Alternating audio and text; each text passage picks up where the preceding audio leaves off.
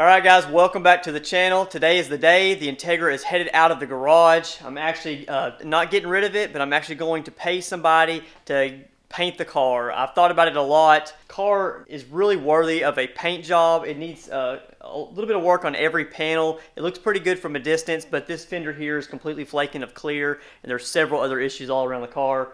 Uh, I decided I didn't really have time to tear down and repaint this car myself. I didn't really want to invest a year of my time in this car and then have to deal with everything that comes with painting a car. As, since I do have other projects going on, uh, like this CRX that I am going to B18C swap. I've got some transmission work to do on the B18C swap that's in that green CRX. And honestly, I picked up another CRX and I'm going to show it to you here in just a moment. First thing, let's get this Integra pulled out of here and uh, let's make some room for the new car.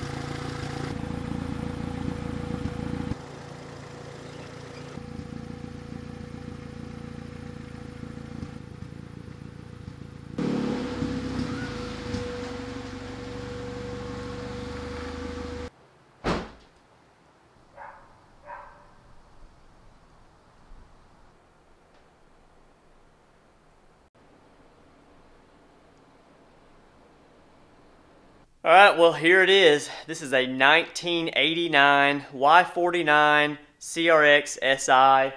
The car has been repainted like a Mustang yellow, so it's not the original Y49 color. It's a little bit brighter than that pale yellow.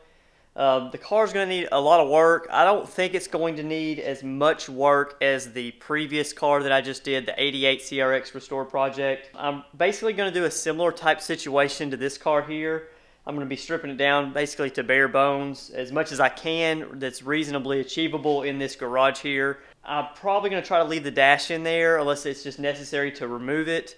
Uh, we'll, we'll see once we start pulling things out of here.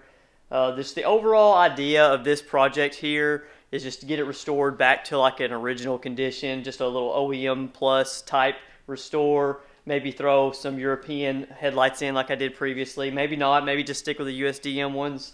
Um, hopefully I can find like a front lip on here.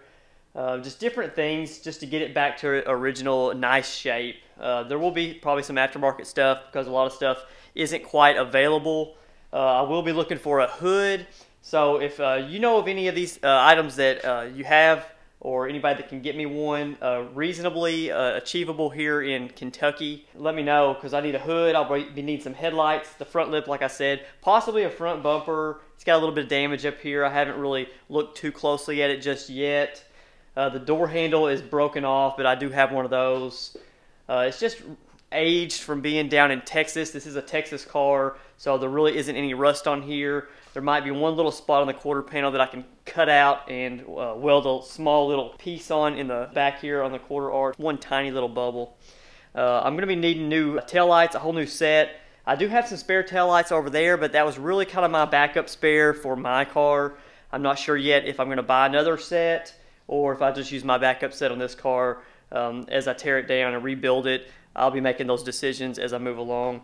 It's got some sort of uh, dual exhaust on here. I, I believe I saw uh, some paperwork that was sent with this that said it was like an OBX exhaust, so that's like mid early 2000s stuff. This thing has been down since 2018. It hasn't been driven. It has a like a VTEC e-swap. Uh, as you saw, it's not the original A6 motor that was in there.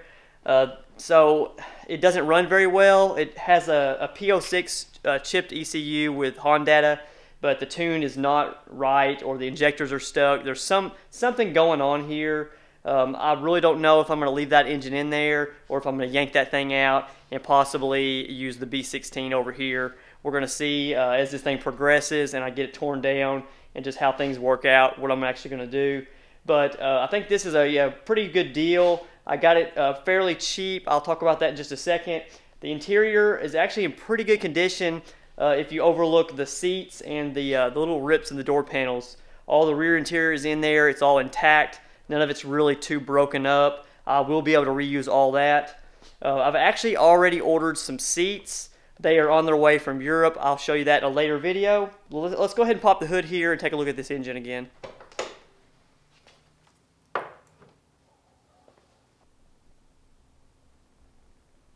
Except for the fact that this is really nasty underneath here uh, from sitting so long. Everything is put together fairly well. Uh, nothing looks severely damaged or missing. The wiring looks all intact. It's got OBD1 distributor on here and a OBD1 to OBD0 uh, conversion harness.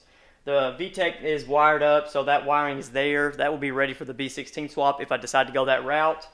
Uh, this thing's running like crazy rich. It doesn't really want to idle very well.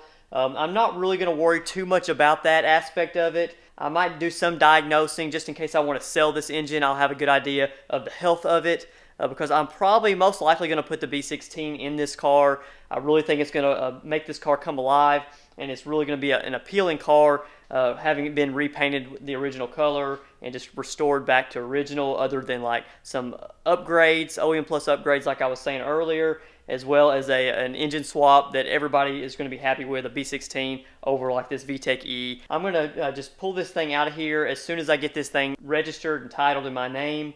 And then this is going to come out. We're going to be prepping this engine bay, respraying it, replacing everything that needs to be replaced, uh, just getting it cleaned up just like I did last time. Uh, hopefully it'll be just as easy and this thing is going to turn out. I am going to be repainting this whole car, uh, jams and all, because the paint job that was done on the car was uh, just a terrible paint job. I don't know. They, they didn't do a lot of good masking. They didn't take a lot of stuff off the car. A lot of overspray on different areas. So it's really going to need a lot of a cleanup and tear down and pulling things apart, just like I did last time. I was hoping maybe I could get away with doing like an exterior respray, but that's not going to be possible just considering all the, the issues on the overspray and different things like that. And this engine bay, even if you cleaned it, I have a feeling that there's going to be some uh, damage to the paint and it really won't look that great. And they didn't do a very good job of clear coating under here, if they even did clear coat from the factory. I don't think they even did. It is an AC car because it is from Texas. Uh, I haven't confirmed if it works yet. The previous owner said it, it doesn't work. There's a leak in there. He had replaced the compressor at some point. So that's a good sign that we'll, we'll get the AC working in here again without having to drop a lot of money. Hopefully just some seals and recharge it. We'll see. That's a, later down the road, pretty far away. Uh, the car is pretty much stock per se as far as like how it's put together. It does have an intake. There are some ground control coilovers on here and some uh, KYB AGX shocks. So it's kind of like that early 2000s stuff. Uh, this is a VIS carbon fiber hood. It's seen better days. I may try to sand that down, re-clear it. This might be for sale. I'm not sure yet. We're going to see how that goes. All right, luckily the car does come with the original 88, 89 SI wheels. The center caps are not on there right now, but I do have all four center caps. They've all been painted black, so all this stuff's going to have to get sanded down, prepped, and painted the original silver color. The center caps do have a couple of tabs missing, but if you saw my previous video, we do have some 3D uh, printed repair kits for those, so that won't be an issue. The body of this car is actually in really straight condition for its age. It looks a lot cleaner than a lot of the CRXs that I see out there. There's not going to be a whole lot of body work. I'm hoping. I don't see any major dents or dings. Uh, there's some, there are minor door dings, things like that. That's not going to be a big deal. Those are pretty easy to fix. There was a one little bubble on the other quarter panel over there. Uh, I don't think that's going to be a big deal. I'm hoping that it's not bigger than I think it is. But there's one little tiny speck. Once we sand it down, we'll see exactly what it is. I may have to cut out a small section there like I was talking about earlier. But overall, that's really going to be a, a, a, big improvement over the black CRX because I did have a lot of body work on that car, especially with those doors, that extra door I had to buy and repair. Hoping I don't run into that with this car. I do need to find a hood. I'm hoping the hood that I do find doesn't need a lot of body work. There aren't a lot of choices here in my area for hoods. So I'm going to cross my fingers on that and hope something pops up between now and the time I'm ready for it. All right, hopping up here to the sunroof, you can see that it's black and it does have a little bit of surface rust on it. Previous owner did tell me that he replaced the sunroof panel with an OEM panel. So this is a Honda panel here, it's metal. So there is a, a layer of primer on here that he put on there to keep it from rusting, but that primer didn't hold up too well. There's a small dusting of uh, rust on there that I'm hoping will sand down pretty easily. There's no bubbling at all on the panel, so that tells me that it's not rusting from the inside out. This thing was inside of a building being stored for many years. So that's a, a big win on the sunroof panel because those are kind of hard to find now. So that should be able to be an easy fix as well. So the interior of the car, while it's really dirty, it's going to need a really deep clean. The overall condition of all the parts in here is pretty good, I would say. There are a few cracks in the dash as usual. I'm going to probably get the rubber mat to put up there like I do on all the CRXs that I have because finding a intact dash that doesn't have any cracks in it, it's nearly impossible these days. So that's not really a big deal. Steering wheel is pretty worn out, so it will need to be replaced. Uh, the shift knob's worn out. All the standard wear components will probably need to be replaced. Things like the shift knob you can still buy new. E-brake handle is, is roasted, so it'll be, need to be replaced or repainted. Carpet, I'm not sure yet if I can clean it up uh, completely just yet. I'm going to pull it out, pressure wash it, scrub it down, see how it turns out. If it doesn't turn out, we may end up ordering carpet. I've, I've gotten lucky and I haven't had to order a carpet yet for the cars that I have uh, worked on, but I think they're still available aftermarket for a couple hundred bucks, so that won't be a huge expense overall in the car. The door panels are the seatbelt door panels, which I don't like. A lot of people are, are kind of indifferent, but they cause problems with the actual seatbelt getting in there and getting hit and damaging them. Both of these have damage. The driver's side is the worst as usual. So I'm in the market for door panels for an 89 to 91 CRX SI for the US uh, model that has the door mounted seatbelts. So uh, leave a comment below if you know somebody that has those for a, a decent price. I don't want to overpay. I'm not looking for uh, new stock or like or new old stock stuff. Uh, just something that looks nice and better condition than what I've got. As I have with all the other CRXs, I'll be utilizing the Golden Era parts uh, door seals and gasket materials to replace these uh, flattened and hardened and torn uh, weather stripping to help improve the feel of the doors and keep the water out. Overall, in my opinion, this car has really good bones and it's a good candidate for a restoration. I'm hoping it goes as well as my last one did as far as the final product. I'm hoping it actually goes a little bit faster than that last one. The last one took a couple of years off and on because I did set it aside for a few months here and there. I'm really not sure of the timeline of this restore. I'm just going to be taking it week by week, doing as much as I can, just like I usually do, since I do have a full-time job outside of this YouTube stuff and working on cars. Uh, the car itself was purchased for $800, but I had to pay $1,200 to get this thing shipped to me. So I'm in it right now, $2,000 as it sits. I haven't spent any money on parts yet other than those seats. The uh, previous owner actually did send a bunch of boxes of parts here. Some of them are old parts, some of them are new aftermarket parts, just like maintenance items from just years of, of replacements that he's done on here and just extra parts he's had. Uh, there's a few items over here, a couple of ECUs. The ECUs are actually stock CRX SI ECUs. The PM6 is here, so uh, those are a couple of spares I've got. If uh, anybody's looking for one, hit me up because I've got them right here. I'll end up selling them most likely. Uh, there's some other uh, stock Honda parts here, red label stuff. Not exactly sure what all he included. There was a lot of different uh, items. Some of this stuff will come in handy during the restoration process. So overall, I think it's a pretty good deal so far. Uh, I have to just be conscious of what I buy to replace on here. I don't want to overspend because the market for CRXs is really kind of all over the place. You can still get them for a uh, thousand bucks all the way up to thirty-five thousand dollars. It just depends on you know the condition and things like that. So I don't want to put too much money into the car where I'll never get it back. But I do want to make it a nice example of a Y49 because those are somewhat rare. But let me know your thoughts and comments down below in the comment section about this car. Anything you might have to say about it, uh, what you liked about it, what you don't like about it, what you think I should do to it, or um, really any kind of resource you might have available for parts that I might need let me know. I'd really be interested in hearing what you guys think about this. If it's something that you guys uh, would like to see, I, I think it is because it's a Y49. A lot of talk about those and the curse that these things have. Uh, hopefully it doesn't curse me on this uh, rebuild. We will see as I dig into it like I've been saying.